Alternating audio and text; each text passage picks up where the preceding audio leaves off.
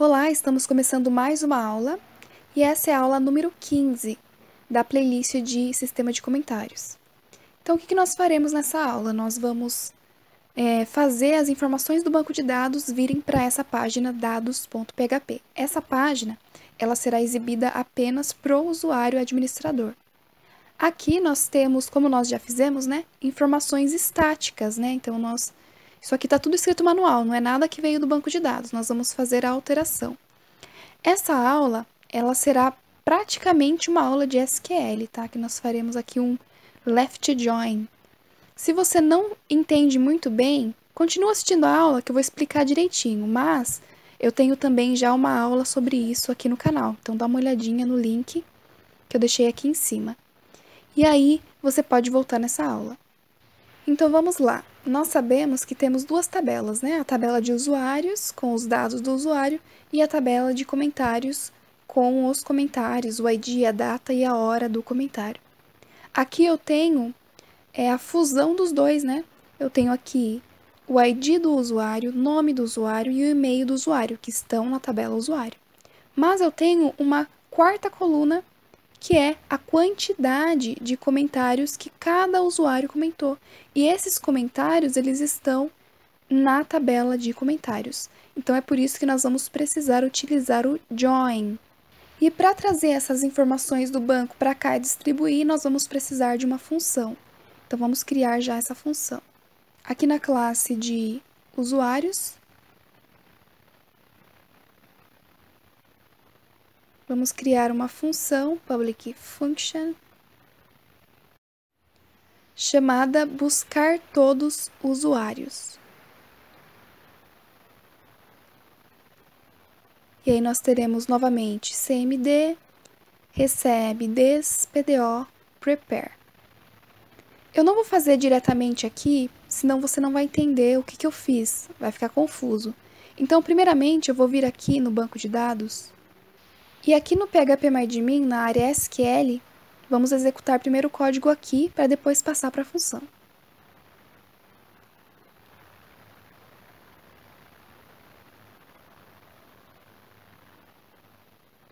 Então vamos lá. Eu quero fazer um select da tabela usuário e da tabela comentário. Então vamos colocar select. O que, que eu quero da tabela usuário? Eu quero o ID, eu quero o nome, eu quero o e-mail from usuários. Até aí tudo bem, né? Tenho aqui ó, o ID, nome e o e-mail do usuário. E agora eu quero o comentário, a quantidade né, de comentários. Então eu vou dar aqui um left join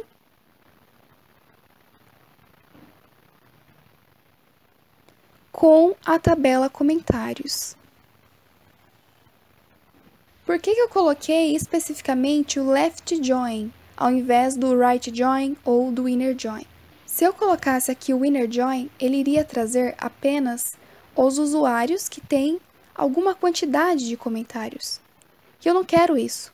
Eu quero até mesmo os usuários que estão cadastrados, mas não enviaram nenhum comentário. Então vai aparecer lá Paloma quantidade de comentários zero. Então é por isso que eu coloquei o left. Se fosse o inner join, sequer ia aparecer a paloma. Então vamos deixar o left, ele vai priorizar a tabela da esquerda, que nesse caso é a tabela usuários. Ele vai trazer todos os usuários, independentemente se existe algum comentário. Se não ficou claro isso, vai lá na aula que eu falei, que eu explico isso certinho. E aqui embaixo vou fazer a união dos IDs. Então, vou colocar on. Esse on é a mesma coisa que o where, só que nós, nesse caso, utiliza-se on. E aí eu quero usuários, ponto ID, vai fazer a ligação com comentários, ponto usuário. Agora que eu fiz a união das duas tabelas, eu posso trazer informações tanto da tabela usuários como da tabela comentários. Então, eu posso vir aqui em cima, depois do e-mail, colocar uma vírgula e trazer alguma coluna da tabela comentários. Nesse caso, eu quero a coluna comentários. Mas eu não quero apenas a coluna comentários. Eu quero a quantidade de comentários de cada usuário. Então vamos renomear o nome dessa coluna. Para renomear, você vai utilizar o alias. Então vamos colocar aqui na frente as e eu vou chamar de quantidade. Como que nós fazemos para fazer essa contagem de comentários? Para isso, eu vou utilizar dois elementos, o group by e o count. Então, aqui depois da, da última linha, vamos colocar o group by, que significa agrupar. Agrupar por como que funciona esse group by? Eu vou mostrar aqui embaixo.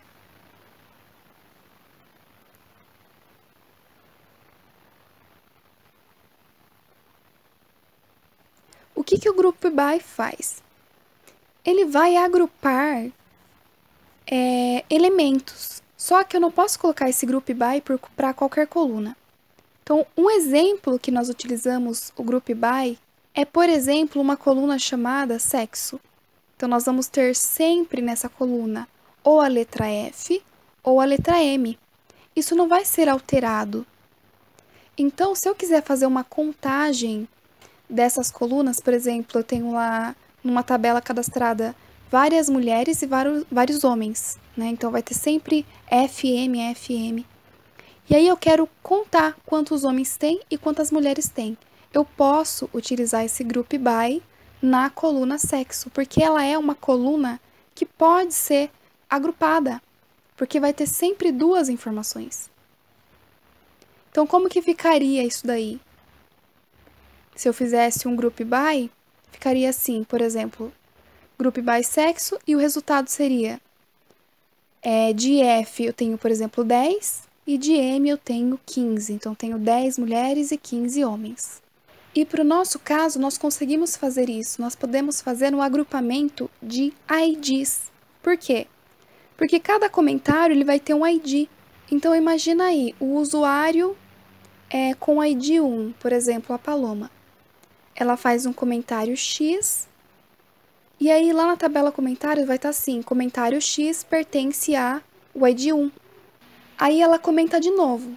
Então, o comentário Y, que também pertence a Paloma, pertence ao ID 1 também.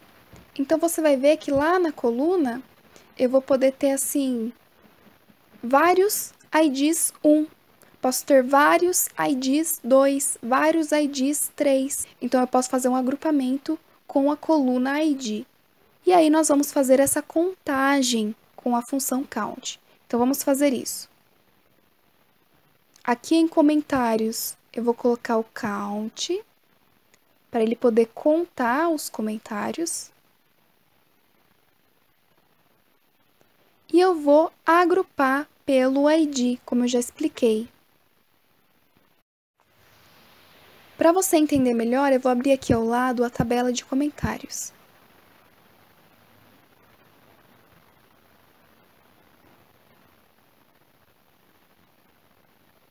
Então, aqui eu tenho cinco comentários. Se você olhar aqui do lado, ó,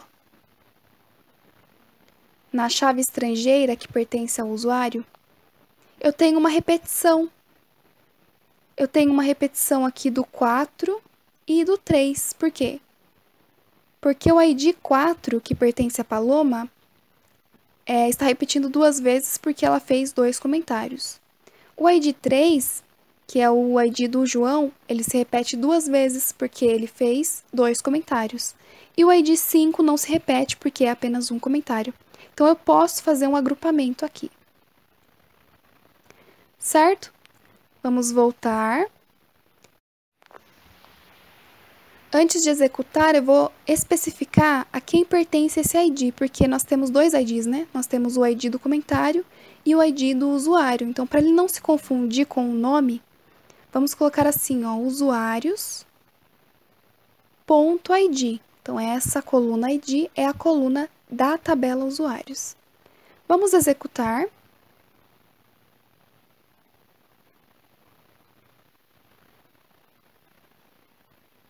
Ele gerou um erro aqui, um erro de ambiguidade. você vê que ele fala assim: é, coluna ID é ambígua. O que significa isso? Nós colocamos aqui em cima um select ID. Aí ele fica perdido, ele não sabe se é o ID da tabela usuário ou se é o ID da tabela comentários. Então, para não dar nenhum erro mais, vamos especificar todas as colunas. Então, ó, essa coluna ID pertence a usuários. Então, usuário.id. Nome também vem de usuários. Então, usuários.nome.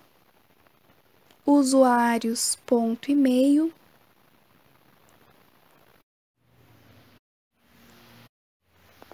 A contagem dos IDs, nesse caso eu até coloquei errado aqui, eu só coloquei comentários. É comentários.id. Nós vamos fazer a contagem da coluna ID, como eu expliquei. Certo? Vamos executar novamente. Agora sim. Olha que legal. Eu tenho aqui o usuário Maria, que não tem nenhum comentário. A Paula não tem nenhum comentário. João tem dois. A Paloma também tem dois. E o Fernando tem um certo? Então, nós temos aqui certinho o que nós queremos. Se você olhar aqui, você pode até confirmar ó, como isso realmente é verdade. Quem tem comentário é o ID 3, o ID 4 e o ID 5. Eu não tenho aqui a Maria, por exemplo. Olha só, recapitulando, o que, que eu estou pedindo? Traga para mim, né, selecione o ID do usuário, traga para mim o nome do usuário, traga para mim o e-mail do usuário, a quantidade de IDs de cada comentário, chamada quantidade, from usuários, fazendo uma união left join com comentários. Aqui eu tenho a união das chaves. E aqui embaixo eu falo que é feito um agrupamento. Sem esse agrupamento eu não consigo contar. A, o group by, ele é, ele sempre, sempre não, mas ele é bastante utilizado com o count. Se eu tirar esse group by, ele não vai funcionar como nós queremos. Então eu pedi a quantidade de comentários, né, a quantidade de IDs de comentários, agrupando pelos usuários. Aí você copia, cola dentro da função. Então, aqui no prepare você vai colar.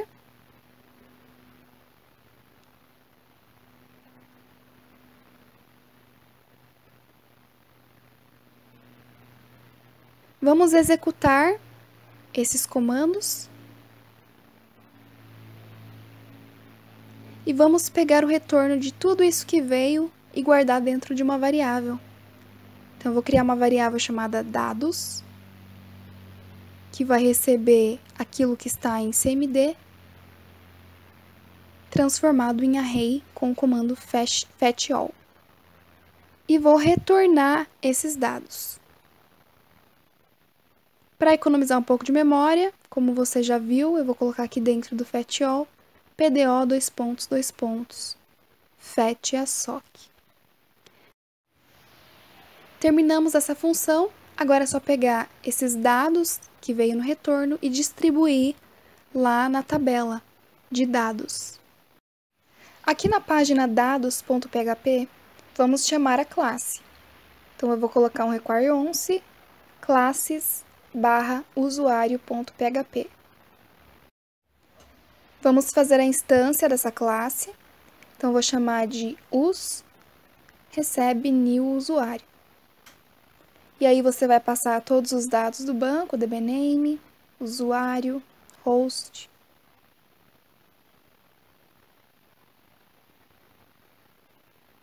E vamos criar uma variável chamada dados também, que vai receber o retorno dessa função. Então, us, acessando a função que nós criamos, buscar todos os usuários. A partir desse momento, todos os usuários, todas as informações estão aqui, nessa variável dados. E agora é só distribuir na tabela. Então, vamos descer aqui embaixo.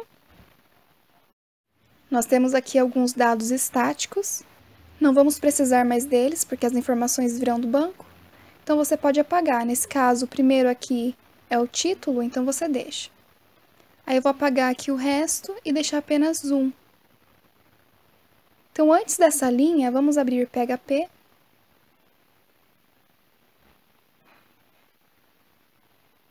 Vamos colocar um if para verificar se essa variável está preenchida. Então, se count dados for maior do que zero, aí sim nós podemos colocar as linhas, né? Exibir. Nesse caso, como essa variável é um array, vamos utilizar um for each para poder distribuir.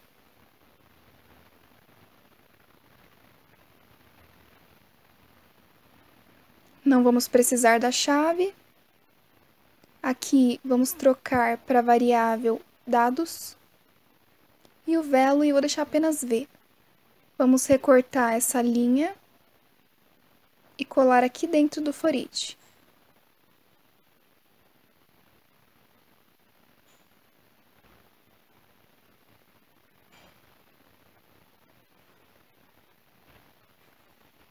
Então, vai ficar o ID, o nome, o e-mail e a quantidade de comentários. Vamos apagar e abrir PHP em cada um deles.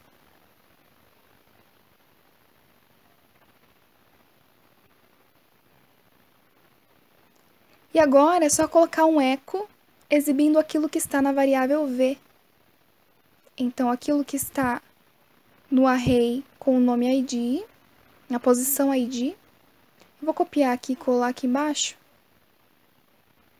E alterar apenas o nome. Então, aqui vai ser o nome da pessoa, depois o e-mail da pessoa, e aqui vai ser a coluna quantidade que nós criamos.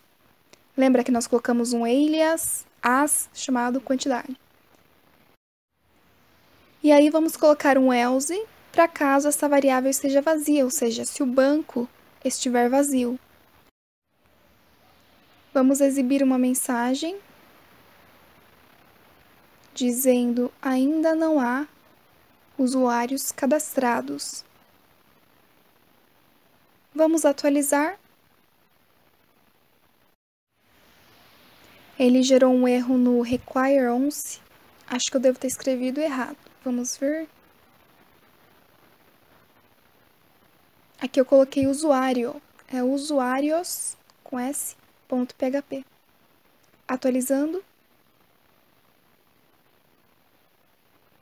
Ele gerou outro erro no banco de dados. Aqui eu coloquei localhost, faltou o L, né? Localhost.